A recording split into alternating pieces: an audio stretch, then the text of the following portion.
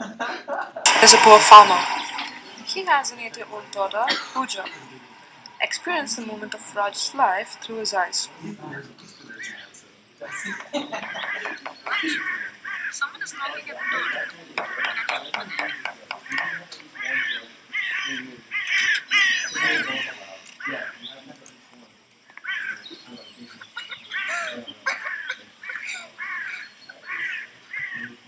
Hey Pooja, you came home early today.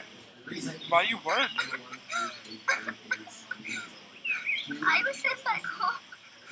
I'm not paying tuition fees. Oh, don't worry, baby. I'll talk to your mother. Darling, I need some money to pay the tuition fee. I know Pooja likes school, but we have no money left. All savings are for her marriage. Oh, should I send Pooja to school?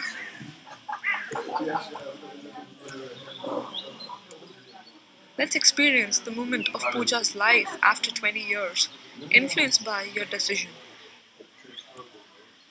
Hey mom, look here. I'm a little short and stout. My children are good dancers. They look healthy.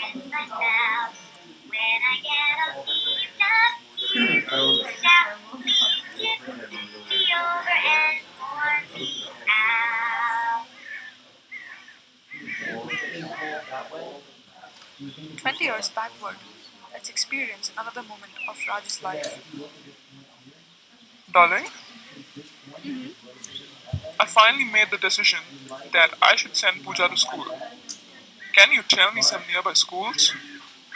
Uh, well, I know there's one good school in nearby village.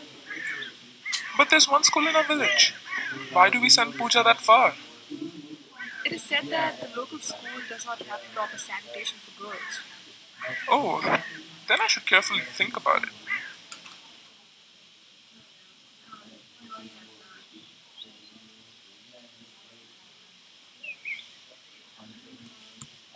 Let's experience the moment of Pooja's life at school, influenced by your decision.